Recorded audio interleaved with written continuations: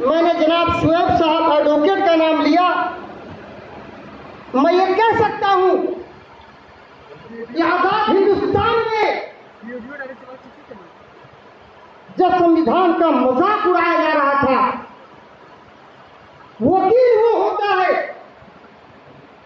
कि जब तक कि मुलजिम को मुजरिम न बना दिया जाए, अदालत न तब तक किसी को उसको मुजरिम कहने का हक हासिल नहीं है। लखनऊ का बमकांड होता है, बनारस का बमकांड होता है, गोरखपुर का बमकांड होता है, और मासूम मुसलमान बच्चों को जिस तरह से उसमें मुलविस कर दिया जाता है, उस पर कोई वकील नहीं मिल रहा था। मैं इस्तेमाल करना चाहता हूँ सुरेश साहब, आपको देखें, मैं सुरेश साहब से गुजारिश करूँगा इस आदमी ने किसी लखनऊ कोर्ट में इसलिए मार खाई इस उम्र में कि उन्होंने हक परस्ती का काम करने के लिए, वकालत का जो पेशा था, उसकी गरिमा को बरकरार रखने के लिए काम किया। मैं ये बताना चाहता हूँ कि राष्ट्रीय उलमा काउंसिल कहीं पर कोई हो, किसी संगठन से हो, हमारे बाद इख्तलाफात हो सकते हैं हैं, और आइंदा भी रहेंगे, लेकिन उसूली इख्तलाफ है। लेकिन अगर खिदमातों को मानने की बात आएगी तो हम अपने से पहले भी उन तमाम लोगों की खिदमत का तस्करा करने में खुद को सम्मानित महसूस करेंगे। यह है राष्ट्रीय कौंसल की असली सोच। मैं माजिद देवबंदी साहब का नाम भूल गया। बाद सारे ऐसे होते हैं कि आज जो ईमानदारी, जो सच्चाई सियासत में अगर मेरे पास है तो मुझे माजिद साहब को शेर मेरे बहुत पुराने साथी हैं, दोस्त हैं, भाई हैं। अल्फाज में कि मैं कह सकूँ। आज से नहीं, बीसों साल का ताल्लुक है। उनका ये शेर कि सामान्य तिजारत मेरा ईमान नहीं है। हर दर पे झुके वो सर, हर दर पे झुके सर वो मेरी शान नहीं। है कहीं आमिर रसादी के उस जज्बे और ईमानदारी में जो आज तक झुका नहीं, हमने जो पंचलाइन दिया कि हम झुके नहीं, हम रुके नहीं और हम थके नहीं तो उसमें इनके उस अशार का भी कि हाशिम एडवोकेट साहब हैं। आज जहाँ भी रात के 12 बजे मुसीबत होती है, ऐसे बहुत से साथी हमारे यहाँ निसार साहब, बहुत से लोग हैं। मैं किन लोगों का नाम तमीम, बहुत से लोग हैं। तमीम साहब हैं।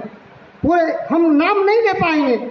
और अगर किसी का नाम भूल गए तो ये बिल्कुल ना समझे कि मैं कहीं किसी की पहचान में या उसकी खिदमत मुझ तक नहीं पहुँची।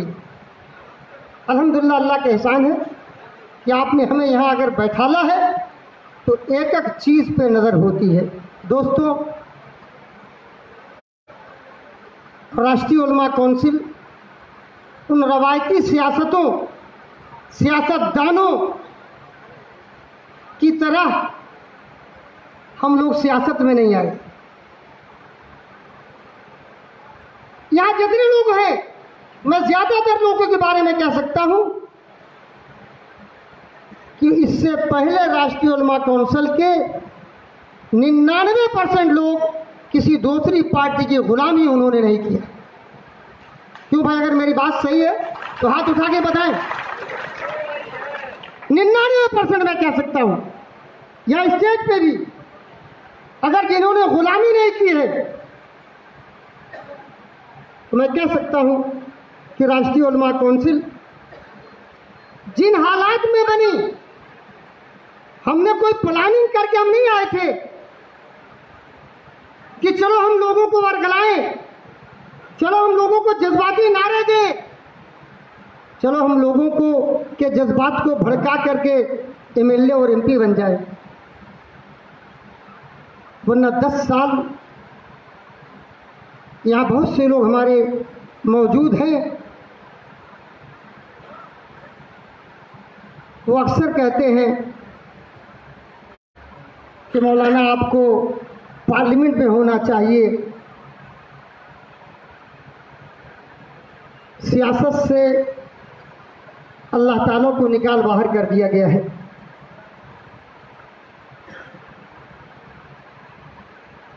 एक जमाना था किसी भी कौम का तबके क्रीम होते हैं।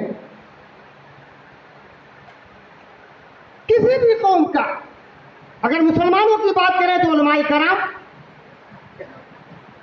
दाजुशमरान कौम,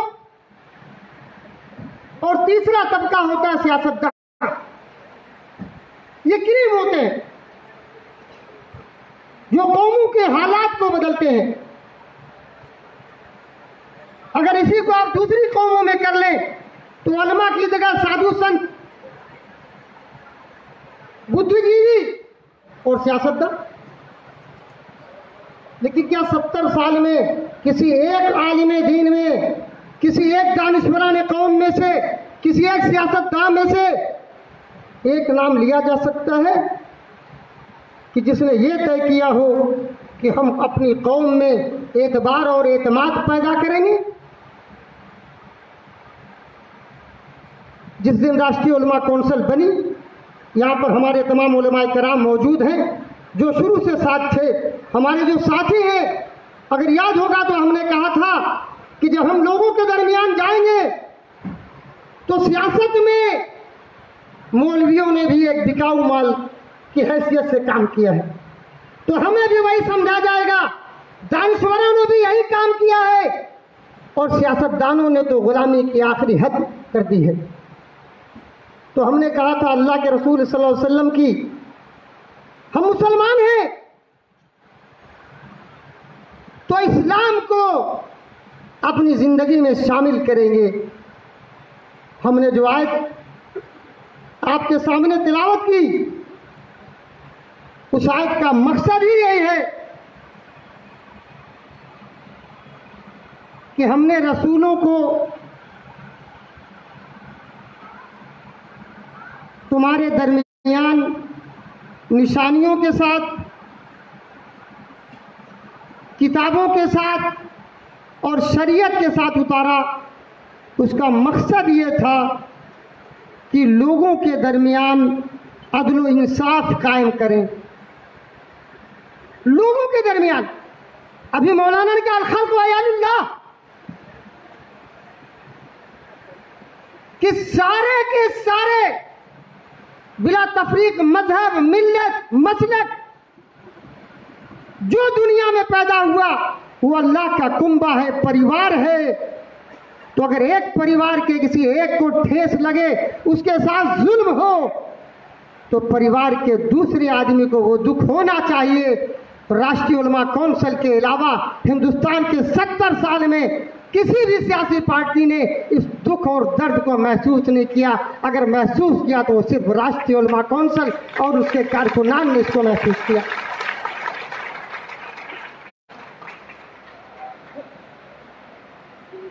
अल्लाह के रसूल सल्लल्लाहु अलैहि वसल्लम की नबूवत के बाद की सीरत बहुत बयान की जाती है। वो तो शरीयत है आपका उठना, बैठना, चलना, फिरना सोना, लेकिन 40 साल नबूत के पहले,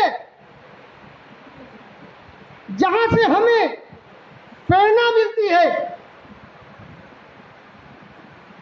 किसी भी काम में, वो ये है कि 40 में 15 साल अगर बुलूगत का निकाल दिया जाए एडल्ट होने का निकाल दिया जाए तो 25 साल बचता है।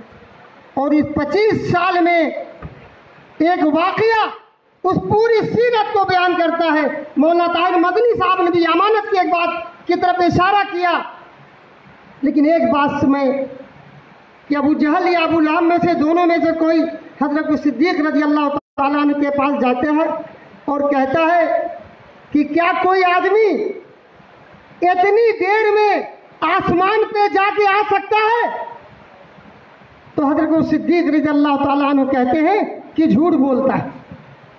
कहता क्या बैतुल मुकद्दस, जो हज़ारों किलोमीटर दूर है, क्या इतनी देर में जाके आ सकता है? तो हज़रत सिद्दीक रज़ी अल्लाह तआला कहते हैं कि झूठ बोलता है। तो कहता क्या है वो? कि तुम्हारा दोस्त मोहम्मद सल्लल्लाहु अलैहि वसल्लम कहते हैं। तो सिद्दीक रज़ी अल्लाह ताला क्या कहते हैं? कि अगर उन्होंने कहा है तो सच कहते हैं। तो दोस्तों, वो क्या चीज़ थी? वो समाज में मुआसरे में वो एतबार और एतमाद था कि अल्लाह के रसूल सल्लल्लाहु अलैहि वसल्लम झूठ नहीं बोल सकते। यही बात मैंने कही थी अपने लोगों से कि जब हम सियासत में जाएँगे तो कहा जाएगा, मौलवी बेईमान आया है पुराना शिकारी नया जाल लेके आया है। हमें घबराना नहीं है। अगर कोई चोर कहे, डाकू कहे, अभी उलमा कौंसल के तराने में ज़फ़र आलम साहब अशरफपुरी ने जो इल्ज़ाम की बात कही, न जाने कितने इल्ज़ाम इस दस साल में लगे। लेकिन अगर आप इल्ज़ामों पे जाएँगे तो काम छोड़ के भाग जाएँगे, लेकिन जब इल्ज़ाम लगे तो उसको हवा में मत उड़ाइए। अपने दिल को सबसे बड़ा मुफ्ती अगर है, अल्लाह के रसूल ने कहा, इस तफ्ती कलबक अपने दिल से फतवा लो। अगर दिल मुतमईन है कि वो चोर कहता है, हम चोर नहीं। वो डाकू कहता है, हम डाकू नहीं है।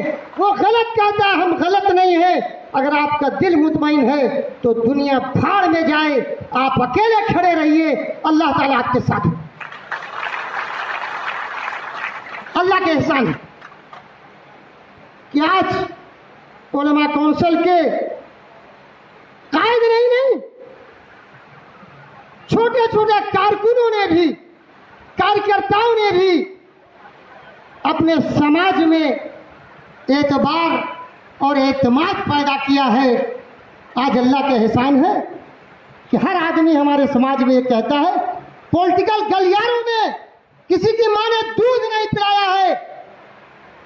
कि ये बता दे कि हम लोगों ने कभी एक मरतबा मुलायम सिंह यादव अभी जब इलेक्शन लड़ रहे थे और हमारी पार्टी ने जब तय किया, यहाँ पर खासतौर से हमारे राष्ट्रीय सचिव में नाम लेना भूल गया था। मुफ्ती गुफरान साहब, मौला ताहिर मदनी साहब, मौला शाह अख्तर साहब, पूरी हाउस ने तय कर दिया कि आमिर रसादी को मुलायम सिंह के सामने आजमगढ़ लड़ना है। मैं तैयार नहीं था। मैं जानता था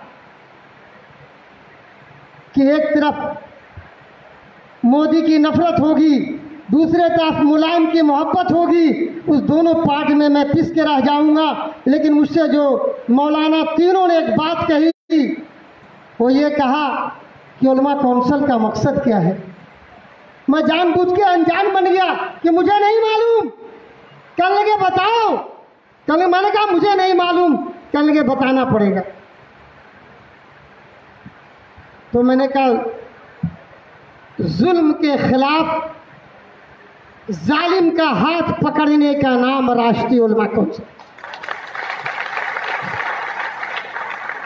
तो इन लोगों ने कहा, बताओ आमिर, एक जालिम मुजफ्फरनगर के पश्चिम से छह सौ सत्तावन दंगे करा करके जुल्म करके आ रहा है।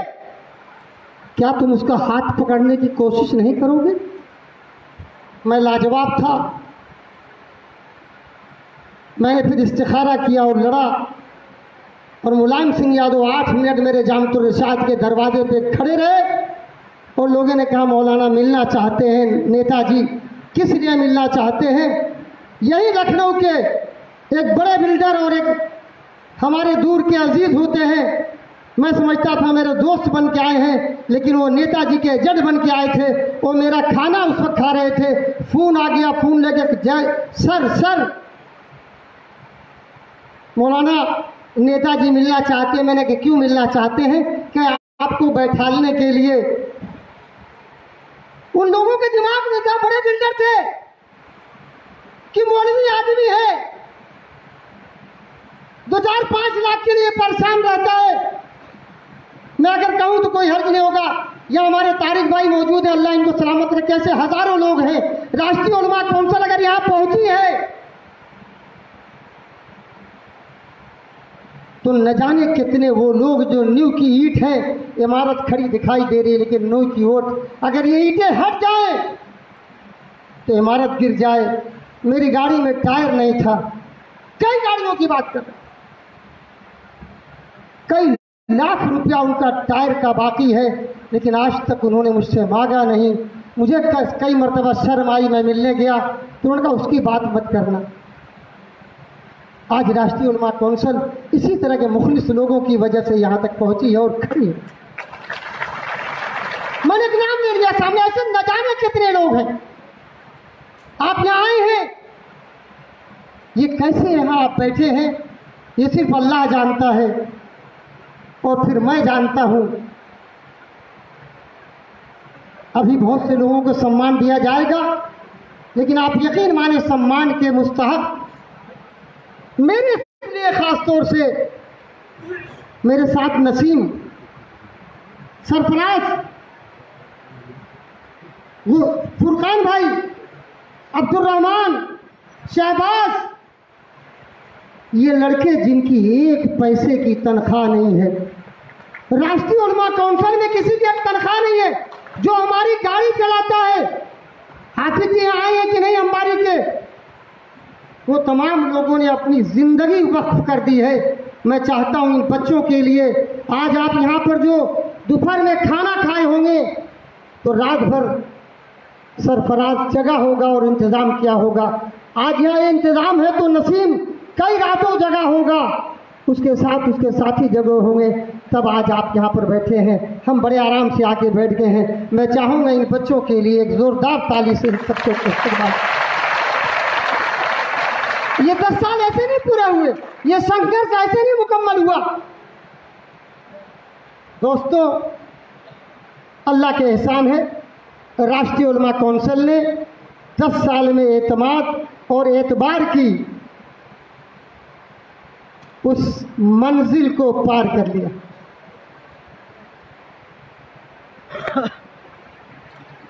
मैं अक्सर सफ़र में रहता हूँ। अभी कन्नौज से एक मरतबा जा रहा था। चौराहे पर रोक के गाड़ी हमने पूछी, कभी कन्नौज नहीं गया, रास्ते से जा रहा था। कि भाई दिल्ली रास्ता कौन से जाएगा? ये चार पाँच साल पहले की बात है। लोगों ने कहा वो दुकान में रसादी जा रहे हैं। ये बताने का मकसद घेर लिया लोगों ने। और वहीं बैठा के चाय पिलाई। मौलाना, एक मरतबा आप आइए। बेसरो सामानी में, आज चौदह स्टेट में अल्लाह ताला ने अपने फजल करम और आप हजरात की दुआएँ और मेहनत की वजह से आज चौदह स्टेट में राष्ट्रीय उलमा कौंसिल पहुँचे। शुरू शुरू में हमारे बड़ों ने हमारी मुखालफत भी की। कि अभी एक इलाका मुकम्मल नहीं हुआ, छोटों ने भी मुखालफत की तो मैंने ये किसान देश है।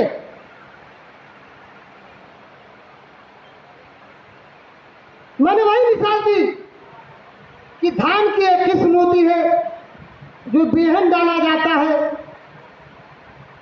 फिर वो पेड़ की शक्ल में आता है, बेहन कहते हैं, और फिर उसको उखाड़ के दूसरी जगह रोपा जाता है। उसमें धान ज़्यादा होता है, लेकिन उसमें पानी भी ज़्यादा दिया जाता है। धान की एक दूसरी शक्ल होती है कि अल्लाह ने ऊपर से बारिश कर दी, किसी का उधार का ट्रैक्टर ले लिया और लेके जोत दिया और जोत के ऐसे छिटुआ छिटुआ बो दिया, वो सिर्फ़ और सिर्फ़ अल्लाह के फजल करम से वो धान होता है। उसमें किसी का सबब इख्तियार नहीं किया जाता, सिर्फ़ और सिर्फ़ अल्लाह के भरोसे पर। वो गरीब किसान इसी तरह राष्ट्रीय काउंसिल कि जब क्यादत मुझे सौंपी गई तो रोपनी तो हम ढाई साल अपने इलाके पूर्वांचल में करते रहे, लेकिन हम फ़ौरन निकले और बाहर और जाके हमने ये छिटुआ धान जो बोया है, वो आज चौदह स्टेट में दिखाई दे रहा है।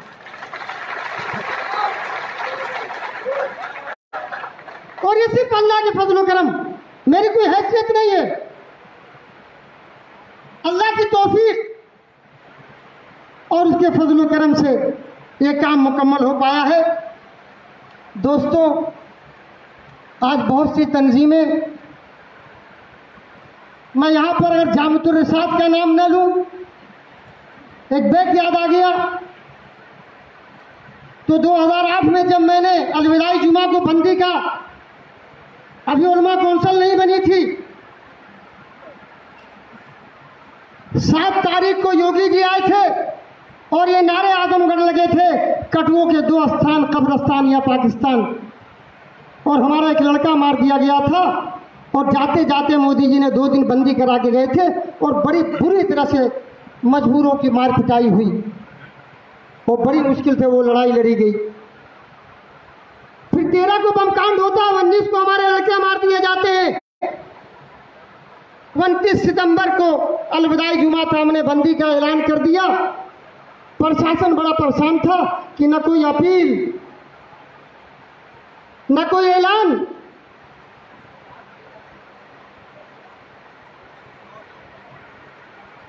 न अखबार में कोई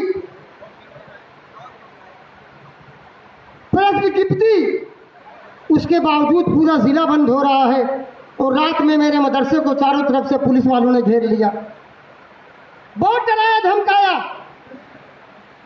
एक बात मैंने उनसे आखिर में कही, एसपी साहब भी थे, एडीएम साहब भी थे। जब बहुत उन्होंने कहा, ये सज़ा, वो सज़ा, फला, ये, वो तो मैंने उनसे आखिर में ये कहा कि एसपी साहब और एडीएम साहब,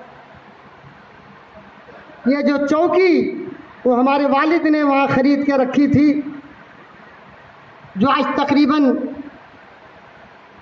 सत्तावन साल की वो चौकी हो गई है और मेरी उम्र भी इत्तेफाक से सत्तावन को पहुँच रही है। इसी पाँच दिसंबर को सत्तावन में दाखिल हो जाऊँगा। मैंने कहा, जब तक अल्लाह ताला ने इस चौकी पे मेरा रिस्क लिखा है, रोजी लिखी है पूरा हिंदुस्तान की हुकूमत मिलकर के भी मुझे अंदर का खाना नहीं खिला सकती।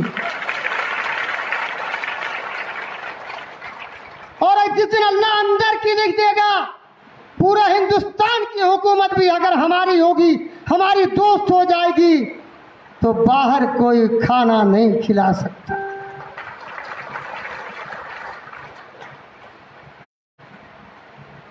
मेरी ये बात उस वक्त लोगों के समझ में नहीं आ रही थी। और जब वो कनामूजी और कलमाडी ये सारे जेल जाने लगे तब लोगों ने कहा कि मौलाना सही कहते थे ये तो हुकूमत के हिस्सा थे और अल्लाह ने जब लिख दिया तो जेल जाना पड़ा। मैंने इसीलिए आप वो नारा याद है? एक पैर। रेल में। कस के बोलिए। मर्दानी आवाज़ में। एक पैर। दूसरा पैर किसमें? एक पैर रेल में और दूसरा जेल में। ये नारा दिया गया था। वो तैयारी है कि नहीं है? है कि नहीं है?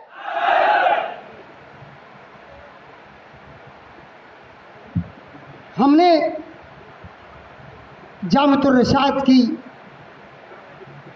अभी हमें गुजरात जाना था। हमारे पास पैसे नहीं थे। यहाँ पर हमारे हाफिज साहब बैठे हैं। अमीरुद्दीन साहब हैं क्या? कहीं हैं?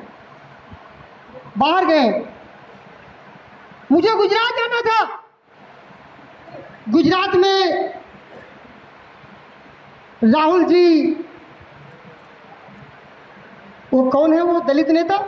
हार्दिक पटेल। नहीं नहीं नहीं। हैं? जिग्नेश मेवानी, हार्दिक पटेल, और एक और कौन था? हरदे, हरदेश ठाकुर। ये तीनों के इर्द गिर्द पूरी कांग्रेस घूम रही थी। मैं हसास तबीयत का आदमी हूँ। ना इंसाफी बर्दाश्त नहीं कर सकता। मैंने कांग्रेस से सवाल किया। लोगों से सवाल किया, अपने मदरसे में असाजा से सवाल किया कि राहुल के इर्द गिर्द कोई मुसलमान नहीं दिख रहा है। वो चर्च में जा रहे, वो मंदिर में जा रहे, वो यहाँ जा रहे, वहाँ जा रहे। लेकिन वहाँ अहमद पटेल जो उनका सबसे बड़ा चमचा था, वो भी दाहिने बाएँ दिखाई नहीं दे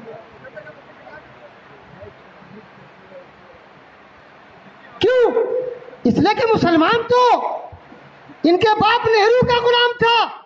इनके दादी इंदिरा गांधी का गुलाम था। इनकी माँ सोनिया गांधी का गुलाम था। और अब राहुल गांधी का गुलाम। इसलिए इनकी कोई ज़रूरत नहीं है। और मैं गया।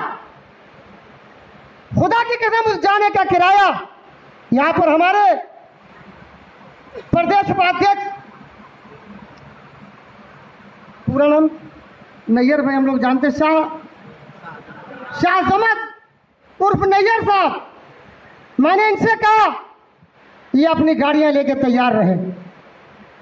मैं चाहता हूँ ऐसे लोगों के लिए आप दो बात इस्तेमाल करें लोगों का।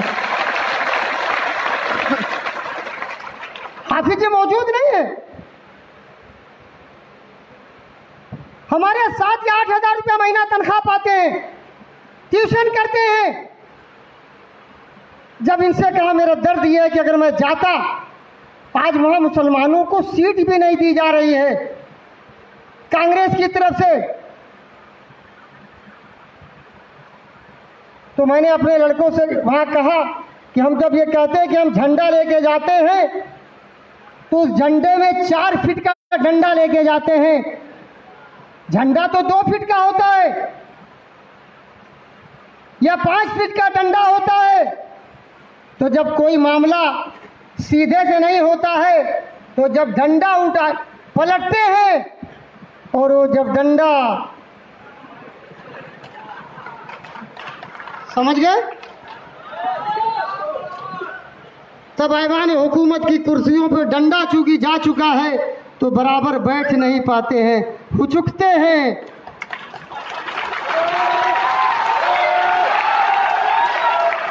और जब वो डंडा डालता है तो पहली मर्तबा उन्होंने पाँच सीटें गुजरात में दी। दो देने वाले थे। अगर आप को याद हो तो उसी डंडे ने तीन सीट मुसलमानों की बढ़ा दी। और वो पैसा जाने का किराया एक लाख रुपया हमारे उस गरीब हाफिज जी ने अपना मकान बनाने के लिए रखा था। कहा, मौलाना मकान बाद में बनेगा, ये वक्त दोबारा नहीं आ सकता। जब मैं पहली मरतबा जेल से 2000 में निकला तो उस वक्त भी मेरे पास खर्चे का पैसा नहीं था। तो हमारे जामतुर रशाद के इस ने पचास पचास रुपया, बीस बीस रुपया आपस में चंदा करके 1840 रुपया मुझे दिया था और 1840 रुपये में आजमगढ़ में दुर्गा यादव को डंडा डाल दिया था और वो भाग के मुख्तार अंसारी के घर गए थे। कहा मुझे बचा लो?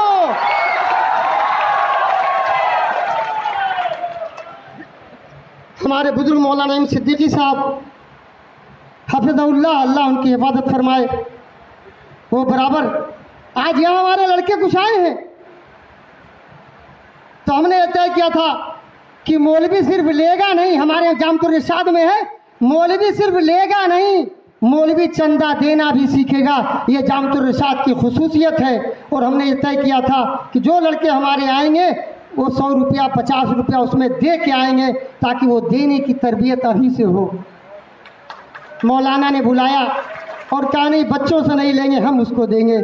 आज वो बच्चे यहाँ आए हैं तो हम मौलवियों की भी तरबियत करते हैं, जहाँ पर वो देने का ढंग सीखे, सिर्फ़ लेने का नहीं, वो मौलवी ज़कात देने वाला भी बने। अगर वो ज़कात ला करके मदरसा चला सकता है तो ज़कात दे करके मदरसे का एक छोटा सा काम भी कर सकता है, इंशाल्लाह। दोस्तों, आज रिलीफ का काम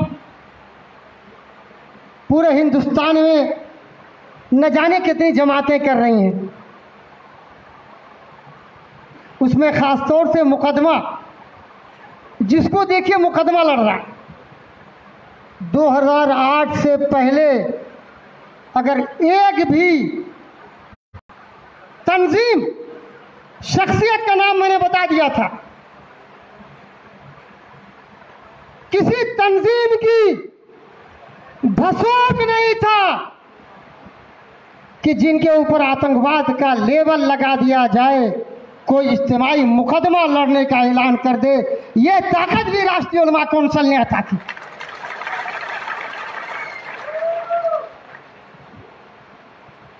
हुकूमत में रहने वालों से यहाँ गवाह मौजूद है। आँख में आँख डाल के बात करने की। पहले दिन से उनतीस जनवरी 2008 को हम लोग जंतर मंतर पे गए थे। एक तारीखी ट्रेन लेकर के उलमा एक्सप्रेस। वहाँ पर कुछ लोग जो दिल्ली में हमारे प्रोग्राम को देख रहे थे, उनके यहाँ से होम मिनिस्टर के ओएसडी से बात हो रही थी। बहुत गौर से सुनिएगा। ये आपने 10 साल में कितना संघर्ष किया, क्या पाया? और उस पाँच फीट डंडे ने क्या किया? हम वहाँ गए। हमने पूछा, क्या बात है? बार बार पार्लियामेंट का जो एस एच है, वो आ रहा है पार्लियामेंट थाने का।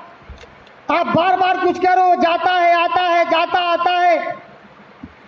तो बताया वो हम लोगों को होम मिनिस्टर से मिलने की बात हो रही है।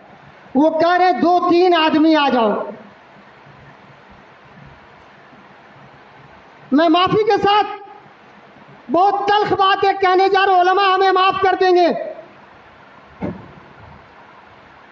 उलमा को इकट्ठा करना, मेढक तोलना है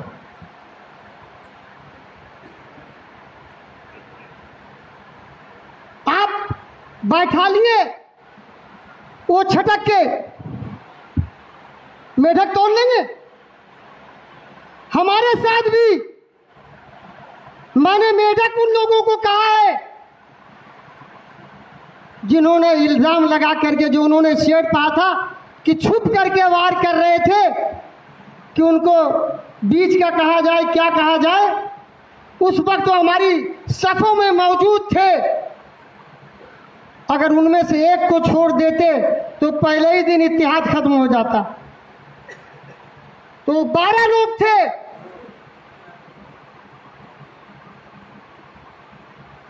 वो कह रहे थे, वहाँ होम मिनिस्टर साहब के दो आदमी लेके आ जाओ। लास्ट में चार आदमी तक तैयार हुए। तो जब वो दोबारा इससे आया तो मैंने उससे मोबाइल ले लिया और मैंने कहा एस साहब, अपने उस होम मिनिस्टर से कह दो कि हम बारह लोग हैं। अगर बारह को बुला सकता है तो ठीक है।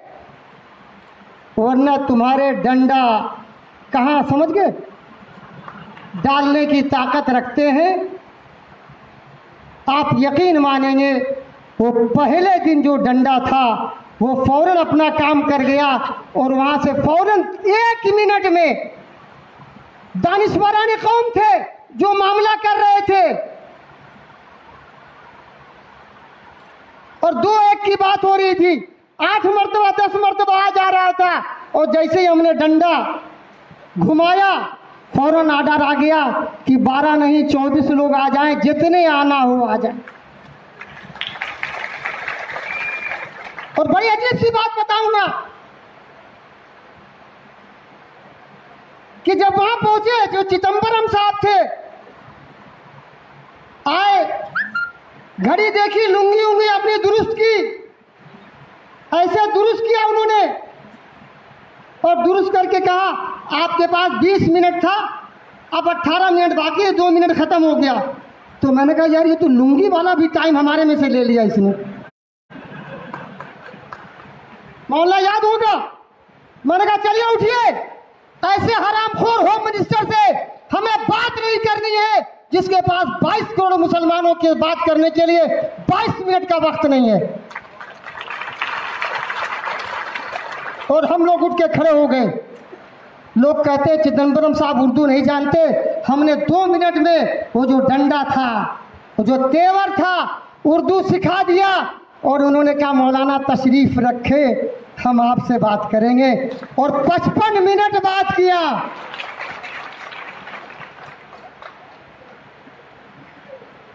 तो दोस्तों, यहाँ तक पहुँचने में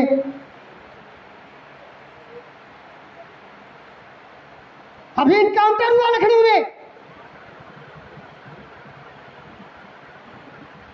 एक इनकाउंटर अखिलेश साहब ने जाते जाते कर दिया।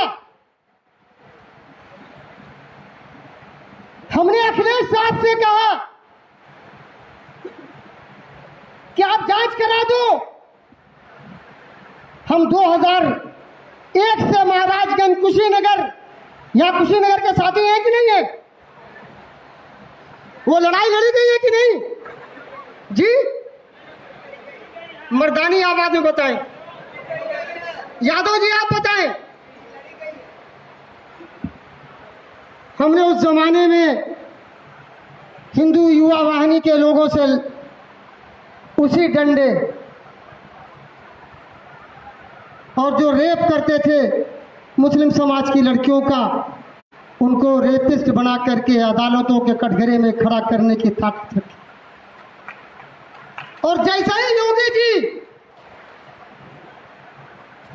चीफ मिनिस्टर होते हैं, हम इन हराम खोर अखिलेश यादव, राहुल यादव, गांधी यादव? नहीं, उत्तर प्रदेश में यादव होने जा रहे हैं। सोनिया! इन हरामखोरों से, अभी केजरीवाल हरामखोर से हम जा करके गुजारिश करते रहे कि सिर्फ़ जाँच करा दो। हमने कहा, जाँच से क्यों घबराते हो? जाँच क्यों नहीं कराते हो? कोई गलत मांग तो नहीं थी? हमने तो जाँच की बात की थी। हमने ये तो नहीं कहा तो मौलाना ताहिर मदनी से करा दो। हमने संवैधानिक उन एजेंसियों से कहा था करा दो।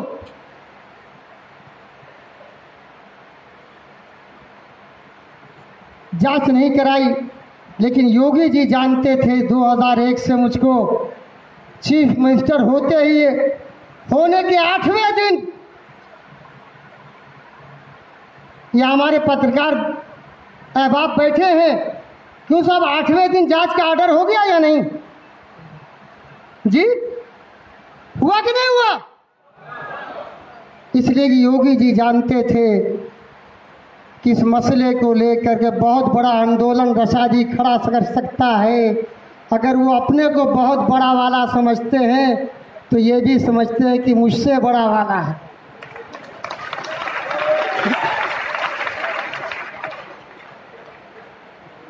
मैं शुक्रगुजार हूँ उनका। मैं शुक्रगुजार हूँ योगी जी का कि जो इंसाफ हमें इन हरामखोरों से पटना हाउस में नहीं मिल सका, वो लखनऊ इनकाउंटर में हमें इस हुकूमत में मिल गया।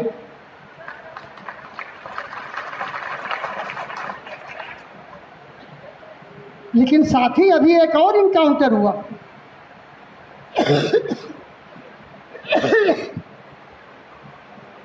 एक हफ़्ते के अंदर दो इनकाउंटर होता है। एक अलीगढ़ में होता है और दूसरा लखनऊ में होता है। लखनऊ वाला योगी जी को फ़ौरन पता चल जाता है कि फेक इनकाउंटर है और दूसरा इनकाउंटर एक हरामखोर एसपी करता है वहाँ पर। मीडिया को बुला करके फ़िल्म की शूटिंग करता है। ये लोग तो खाते पीते घर के थे, लेकिन वो तो गरीब और मजदूर खानदान के थे। हमने आपकी बात मान ली, वो मुजरिम थे। अभी तो ये तिवारी का भी पता नहीं चला कि मुजरिम था कि नहीं था। अभी तो पुलिस वाला कह रहा है, कुछ और लेकिन वहाँ पर 25 लाख रुपया और बच्चों की तालीम और नौकरी भी दे दी गई। लेकिन अलीगढ़ के इनकाउंटर पे न तो सोनिया जी का फ़ोन आया, न अखिलेश भैया को दर्द हुआ और न मायावती के पेट में मरोड़ हुआ। जानते हैं क्यों? इसलिए गुलाम कौमों की कोई हैसियत नहीं होती। आज तय करके यहाँ से जाओ। मैं अभी अपने अब्दुल रहमान कहीं है नहीं, छोटा लड़का हमारा घर का है। जब तक कि घर का एक एक बच्चा अपने घरों में, स्कूलों में, दीवारों पर राष्ट्रीय उलमा कौंसल नहीं लिखना सीखेगा, तब तक इनकलाब नहीं आ सकता।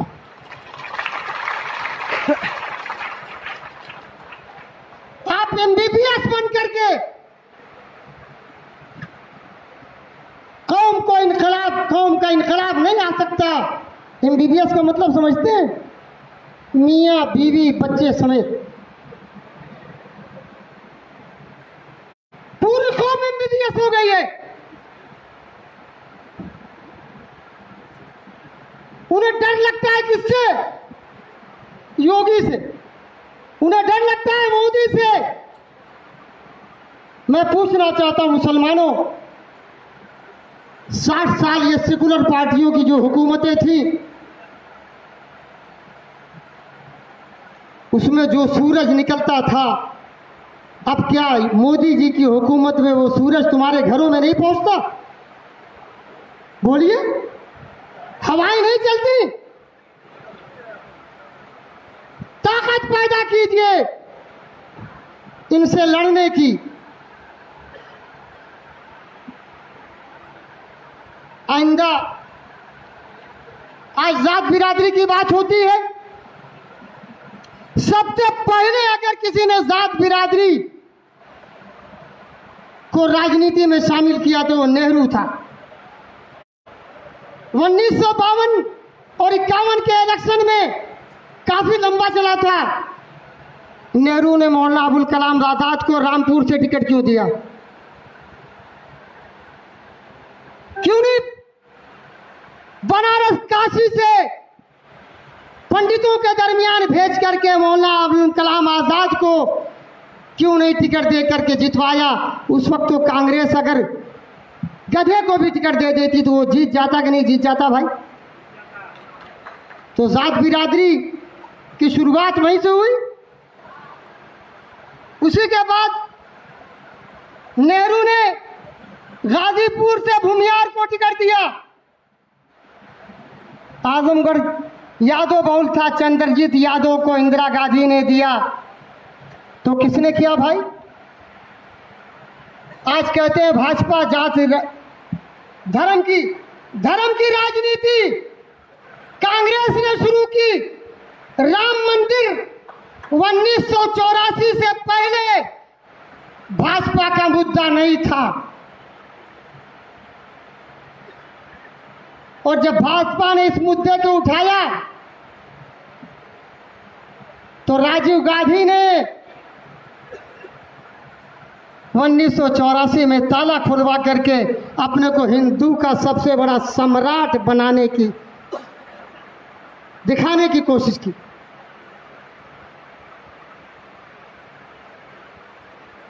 जब सबसे पहले करण सिंह के ज़रिए पूरे मुल्क में विराट हिंदू सम्मेलन, विराट हिंदू सम्मेलन अगर किसी ने कराया तो नेहरू ने शुरू करवाया, जो आज लोग कहते हैं सेकुलरिज्म के हामी थे। उन्नीस सौ इक्यानवे के इलेक्शन में अडवाणी जी ने अगर सोमनाथ से अपने इलेक्शन का बिगुल बजाया तो राजीव गांधी ने अयोध्या से बिगुल बजाया। तो धर्म की राजनीति किसने शुरू की पहले? आपको यह समझना होगा।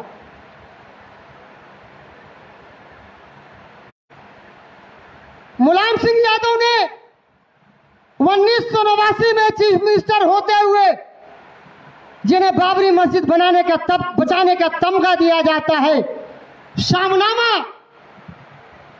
6 दिसंबर उन्नीस सौ बानवे का जाके उठा लीजिए और 90 का 30 30 नवंबर उन्नीस सौ नब्बे का जब गोली चली थी तो मुलायम सिंह यादव ने यह बयान दिया था कि हमने किसी भी अ, वो क्या कहते हैं कौन था?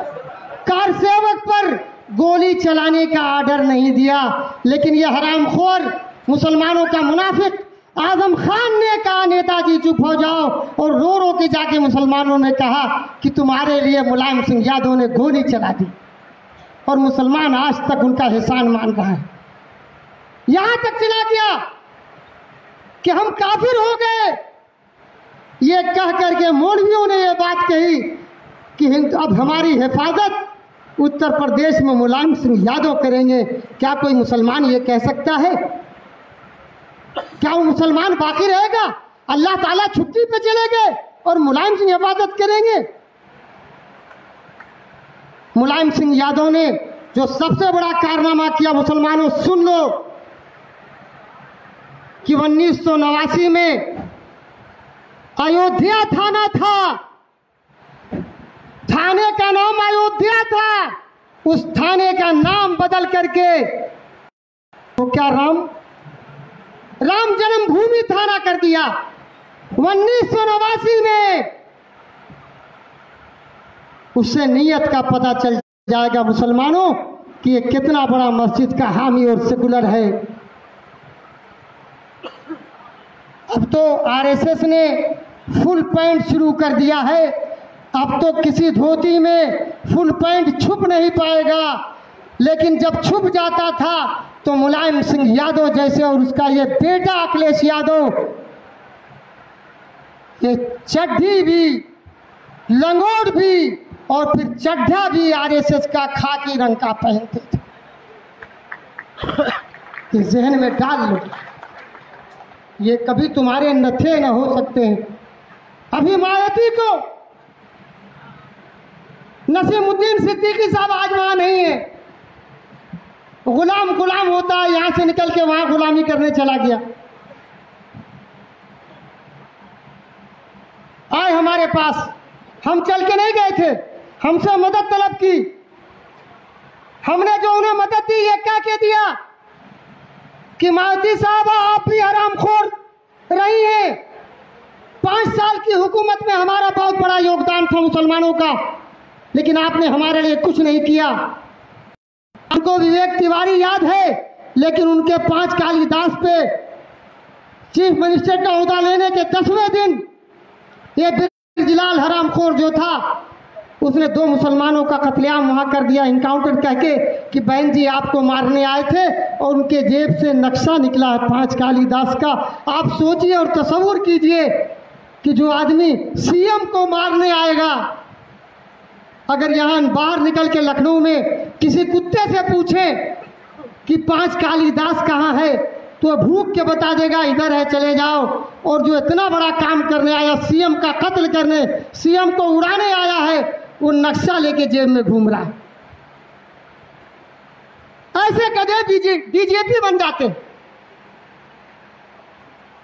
नक्शा लेके घूम रहा। लेकिन क्या कहें, अदालतों को लोग कहते हैं, माननीय अदालत है, उनके खिलाफ कुछ बोल नहीं सकते। अदालत यहाँ पर हिंदुस्तान में संविधान के मातहत है। अगर जज बेईमान होगा तो उस जज को बेईमान कहेंगे।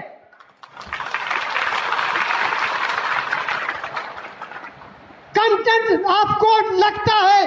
लगने दो। मुझे मालूम है कि आमिर रसादी पे जो कंटेंट होगा तो सबसे ज़्यादा छह महीने की सजा है कंटेम्प्ट की। जब मुझे वो सजा देगा बुला करके तो कल्याण सिंह को तो बाबरी मस्जिद का कंटेम्प्ट जो है, एक दिन का देगा, लेकिन आमिर रसादी को वो छह महीने से कम नहीं देगा। तब मैं ये फिर कहूँगा कि मैंने तुझे बेईमान कहा था, आज फिर तुमने कंटेम्प्ट में मुझे सजा दे करके साबित कर दिया कि तू फिर बेईमान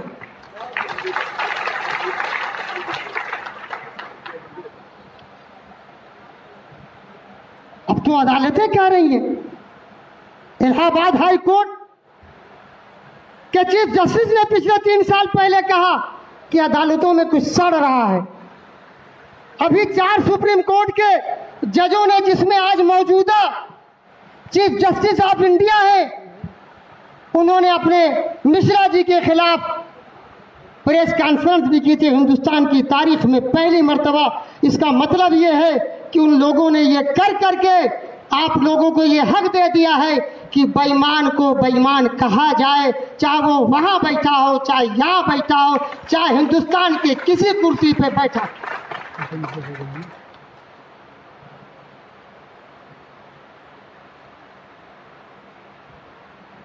सलाटर हाउस का मसला आया। ये सेकुलर अखिलेश यादव ने, अगर आज मुसलमान 25 लाख ओबीसी, मुसलमान और दलित बेरोजगार हो गए हैं। सलाटर हाउस, एनजीटी बार बार सुप्रीम कोर्ट बार बार नोटिस भेज रही थी कि उसको लीगल कर लो। जो उसके पैमाने हैं, उस पैमाने को पूरा कर लो। और उनको लाइसेंस दो। लेकिन अखिलेश यादव ने उनको लीगलाइज नहीं किया और उनको लाइसेंस नहीं दिया, न बंद होने दिया। अगर इस हुकूमत ने एनजीटी की बात मान करके अगर वो बंद कर दिया तो बताओ मुजरिम कौन है? मैं नहीं फैसला करूँगा, आपको करना होगा। कौन है कस बताओ? केंद्रियों के पूंजीपतियों के लिए तो आप सुप्रीम कोर्ट चले जाते हो। लेकिन गरीब जो दाल रोटी खाता है, सलाटर हाउस से, उसके लिए क्या अखिलेश यादव ने कोई आवाज़ उठाई? कोई आवाज़ उठाई? दोस्तों, जब तक मैं सियासत में नहीं आया था तो इन सारे हरामखोर सियासतदानों का बड़ा चहीता था। इसलिए कि मैं भी आशीर्वादी मौलवी था। मेरे सारे आशीर्वाद लेने आते थे, भाजपा वाले भी आशीर्वाद लेने आते थे। और जैसे ही मैंने ये प्रोफेशनल बेईमान और हम हरमखार सियासतदानों और पार्टियों के खिलाफ आवाज़ बुलंद की, मेरे अंदर इतने कीड़े पड़ गए, इतने कीड़े पड़ गए।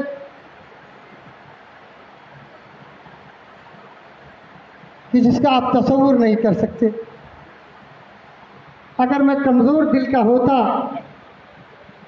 तो ये जो भाजपाई मुसलमान, कांग्रेसी मुसलमान, बसपाई मुसलमान और सम, सपाई मुसलमान, इन सबों ने इतने कीड़े डालने की कोशिश किए लेकिन अल्लाह की फजल है, अल्लाह जिसे रखे उसे कौन चखे?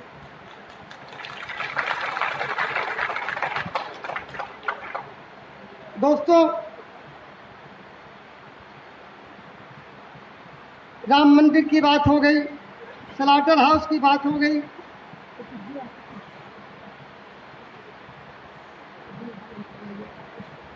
इनकाउंटर की बात हो गई।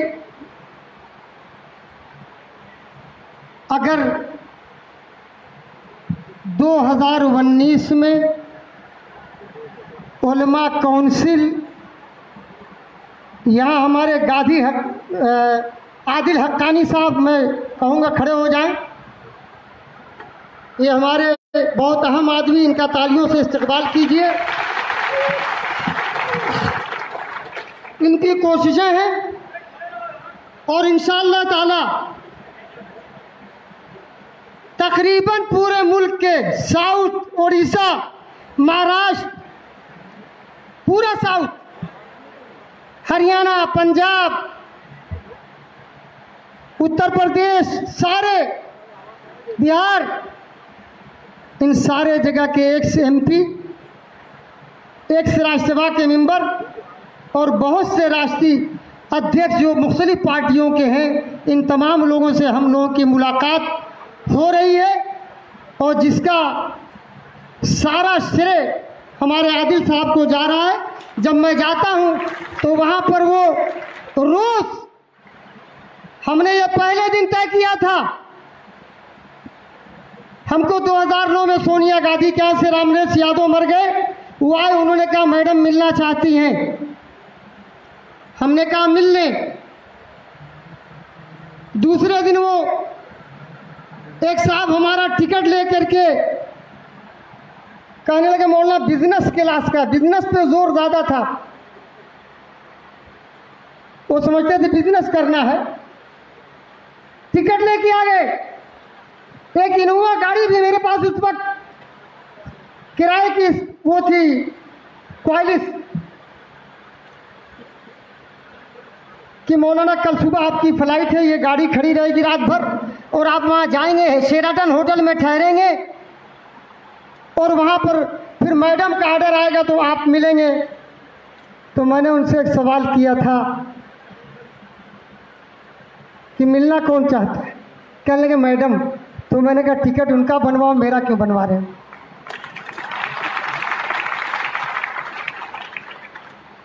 राहुल गांधी ने भी, जब हम 22 दिन हम लोग बैठे थे, यहाँ हमारे लड़के कुछ मौजूद होंगे, जो दिल्ली में 22 दिन बैठे थे 341 पे, राहुल गांधी परेशान हो गए।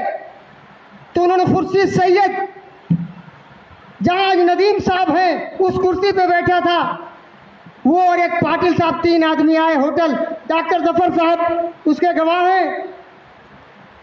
अल्लाह इन्हें सलामत रखे। बहुत से इनके एहसानात हैं दोस्तों। इस आदमी ने अपना कारोबार ख़त्म कर लिया। जितने इजलास हुए, उसमें अपने कारोबार का पैसा उठा के दे दिया। आज कोई कारोबार नहीं है। आज दूसरा अपना काम कर रहे हैं। ऐसे मुजाहिदों के लिए आप ऐसे न जाने कितने लोग हैं जो आज दस साल पूरा हुआ है। मैंने कई मरतबा कहा, कुछ पैसे आ गए, थोड़ा सा ले लीजिए। उन्होंने कहा, मौलाना, आपको देख लेता हूँ, पैसा मिल जाता है। अल्लाह इस मोहब्बत को लीला फिल्ला कायम रखे। राहुल वो लेके आए। धरने पर उन्होंने सारी बातें कर ली। कहा मौलाना कल राहुल जी, जब वक्त देंगे आपसे तो आप आ जाइएगा मिलने। मैंने उनसे कहा, राहुल गांधी आएँगे। कल के मौलाना आप राहुल गांधी को जानते हैं। तो मैंने कहा, तुम्हारा क्राउन प्रिंस होगा। हम वो समुदायों में समुदाय हैं कि अगर ऐसे हाथ हटा लेंगे तो वो फकीर हो जाएगा भिकमंगा हो जाएगा। और हमने नारा दिया था सन तेरह में, दिल्ली में जाकर के, सन ग्यारह में। राहुल गांधी को हमने उत्तर प्रदेश में तकरीर नहीं करने दी। कई जगह बंधक बनाया तो नारा दिया था। यूपी में राहुल को रोका। अब शीला की बारी है, फिर भी करना माने पूरे मुल्क की तैयारी है। अल्लाह ताला अपने बंदों की दुआ सुनता है।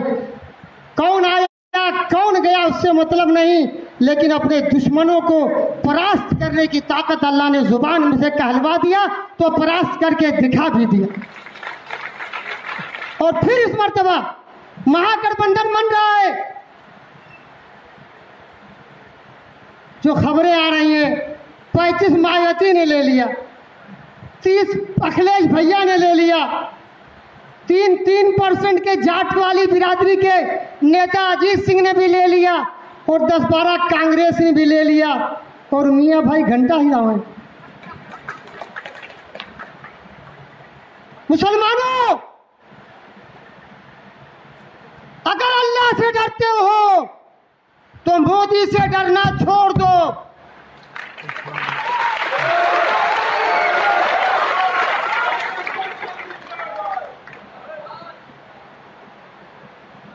छोड़ोगे कि नहीं छोड़ोगे आवाज़ धीरी है ये बीच वाली आवाज़ नहीं होनी चाहिए, जनानी आवाज़ नहीं होनी चाहिए। मर्दानी आवाज़ में बताओ।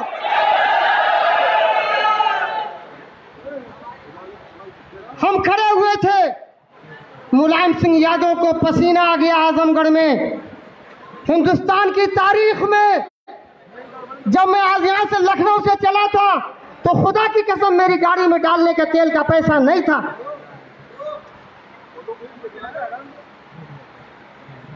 तेल का पैसा नहीं था। उधार लेके तेल दो गाड़ी में डाल के गए थे।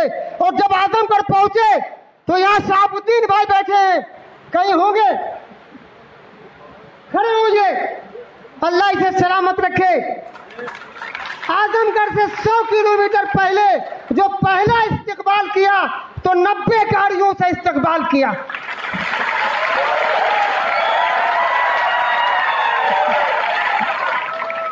और जब शाहगंज पहुँचे कि मोजुद्दीन वगैरह यहाँ खड़े होके, खड़े हो जाएँ। एक साथ पार्टी में आज आज नहीं है। इन लोगों ने मिलकर के वहाँ ढाई सौ गाड़ियों से इस्तेमाल किया।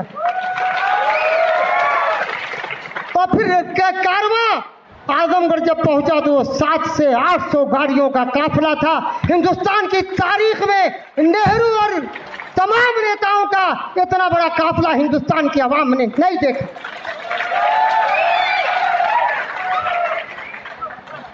आज तक नेहरू के सामने किसी मुसलमान ने नेहरू से लेके राहुल गांधी तक खड़े होने की ताकत नहीं पैदा की। दोस्तों, अगर तुम दो और वसाइल का इंतज़ाम करा दो, जिससे अपने बच्चों को पालते हो, उसी में से हलाल कमाई से अगर राष्ट्रीय उलमा कौंसिल को भी पालना शुरू कर दो तो सोनिया गांधी के मुकाबले में मेरी बेटी इतनी, अलहमदुल्ला, अंग्रेज़ी की तालीम उसके पास है कि सोनिया अंग्रेज़ है तो क्या हुआ? उससे अच्छी अंग्रेज़ी हिंदुस्तान में रह करके बोल के दिखाई।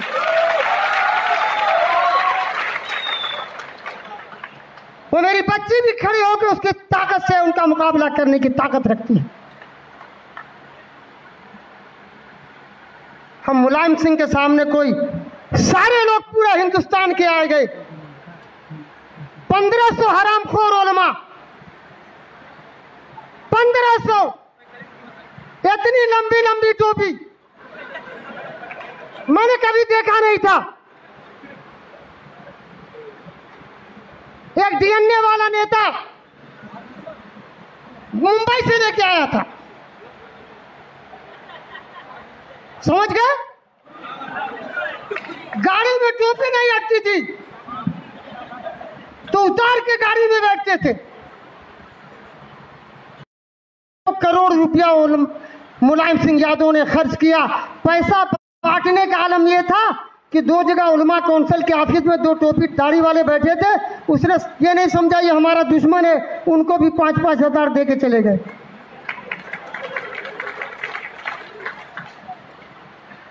मुकाबला करना सीखो। और वो हार के आजमगढ़ से गए। पूरी हुकूमत लग गई थी अखिलेश यादव की। और भारत सरकार को आईबी ने सत्तर अस्सी हज़ार फर्जी वोट मरवा करके आजमगढ़ से जीते हैं, वो डंडा वहाँ भी काम किया।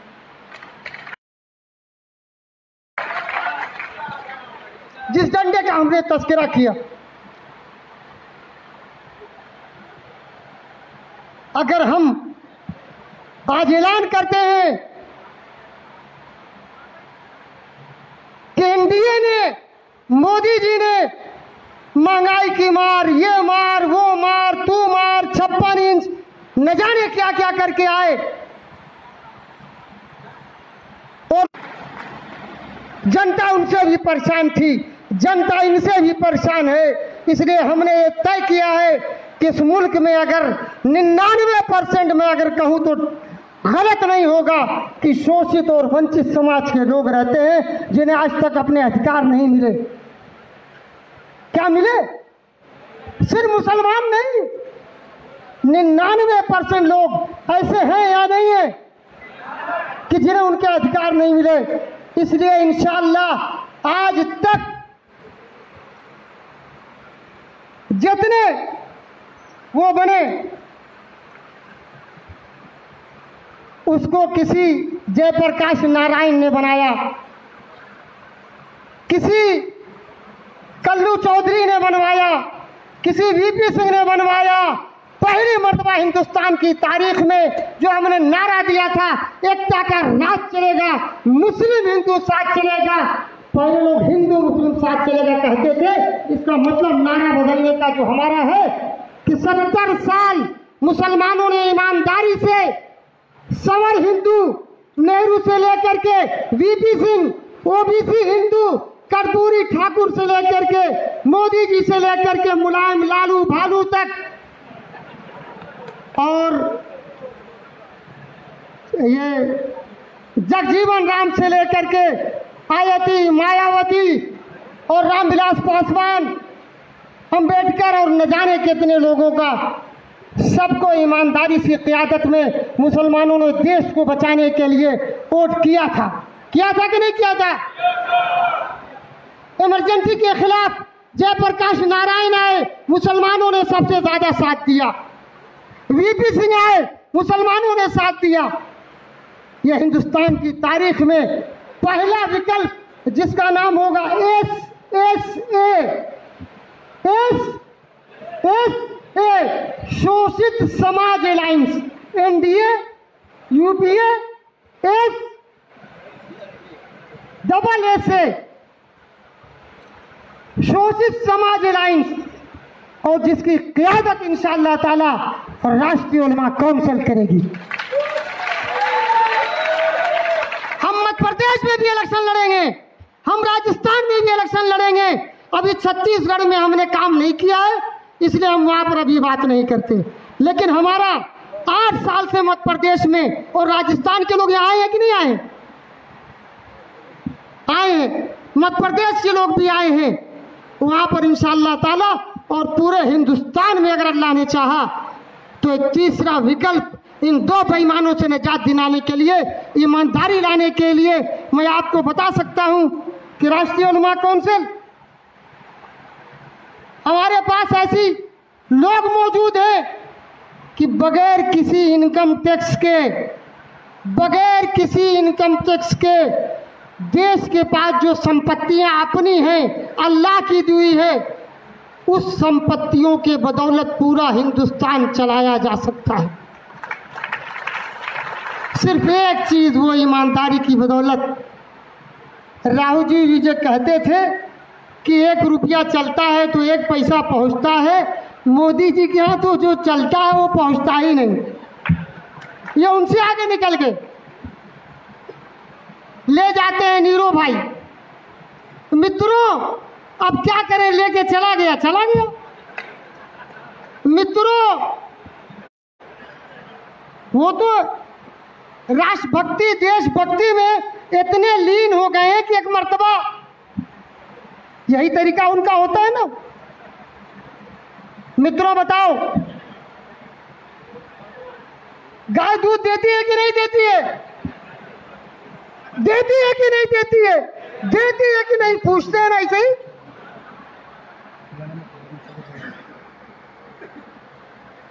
एक मरतबा उन्होंने अपनी तकरीर में कह दिया। कि हमारे गुजरात में सारा काम गुजरात में होता है। हमारे गुजरात में बैल भी दूध देता है। अब कह दिया। पीछे से आके उसने कहा, सर, बैल दूध नहीं देता है। मोदी जी कैसे मान लेंगे? क्या मित्रों, गाय घास खाती है कि नहीं खाती है? लोगों ने कहा, खाती खाती है कि नहीं? ऐसे पूछते लोगों ने कहा, खाती है। तो जब गाय घास खाती है और दूध देती है तो बैल घास खाता है कि नहीं खाता? बोले, खाता है। सवा सौ करोड़ देशवासियों का आशीर्वाद है। अब दुनिया को कोई ताकत बैल को दूध देने से नहीं रोक सकता।